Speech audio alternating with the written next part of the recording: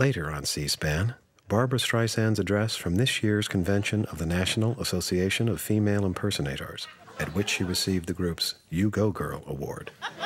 Followed by C SPAN's coverage of a group intervention at the offices of Representative Tom DeLay, where fellow Republicans confronted the Texas congressman on how his unpleasant personality is hurting those around him.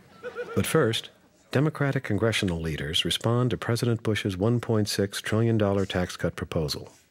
Earlier this week, Senate Minority Leader Tom Daschle and House Minority Leader Dick Gephardt held a joint press conference on the steps of the Capitol to announce their opposition to President Bush's plan. Good afternoon.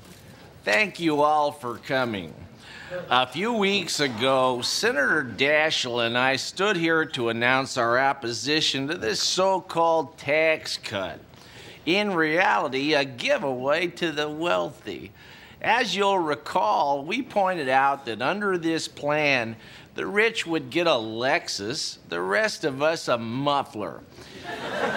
we thought that really nailed the issue, but unfortunately, apart from a modest increase in muffler sales, it didn't seem to frame the debate. Well, we're here again today because we've come up with a new and we think more dramatic and effective way to illustrate our point. Imagine for a moment that this risky tax cut becomes law, and each Sunday you take your tax savings and spend it on dinner for the family. What will the Bush plan put on your table? Well, if you're part of the wealthiest 1% of Americans under the president's plan, you'll have yourself a five course dinner. That's right. How about beluga caviar?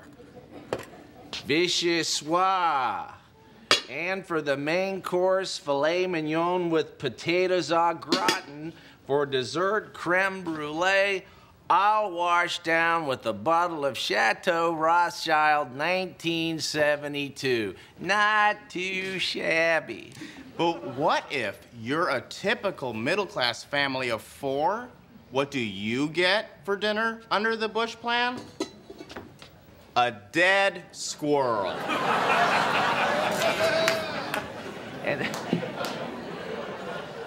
and that, in a nutshell, is the Bush tax cut. For the rich, a five course dinner. For the rest of us, a dead, rotting squirrel.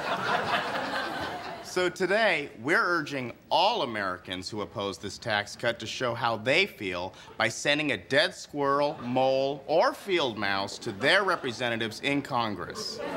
Any questions? Yes. Yes, that's right. It is an actual dead squirrel. Uh, so it's fun. And it makes our point in a humorous way. Yes. Congressman Gephardt ran over it with his car, and it was still moving, so I beat it with a shovel until it stopped. Disgusting? I'll tell you what's disgusting. The way this tax cut will undo the economic progress of the past eight years. Yes? The smell? I assume that's coming from the dead squirrel.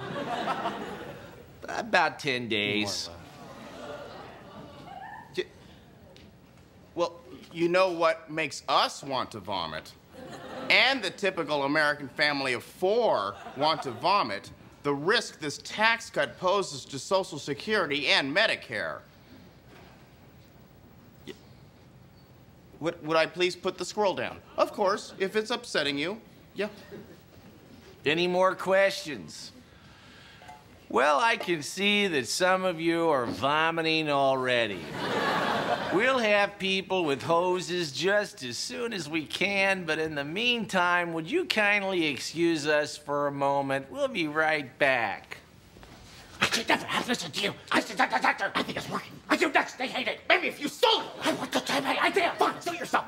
Sue yourself. Just sue yourself. Thank you for your patience. You know, I think all of us can agree that this tax cut is a pretty squirrely idea. but perhaps there's a less distasteful way of getting that point across.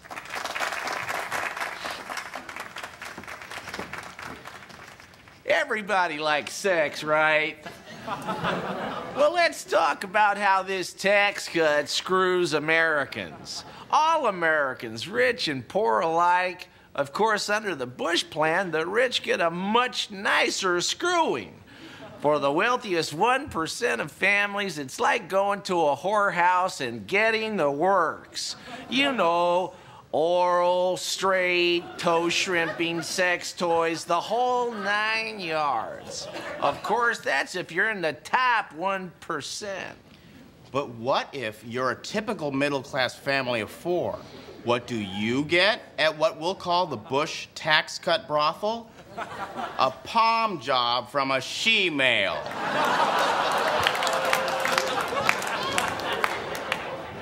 That, in essence, is the Bush tax cut plan. The wealthy get off six ways to Sunday. For the rest of us, it's a cheap date with Mary Five Fingers. Any questions? Yes.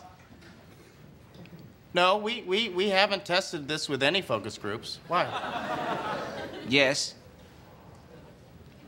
Even more sickening in its own way than the dead squirrel? I'll tell you what's more sickening than the dead squirrel. It, yeah. Hey, what's going on? Where's everyone going? We're not finished yet. There's a video. Come back, please. Next on C SPAN, more of Saturday Night Live.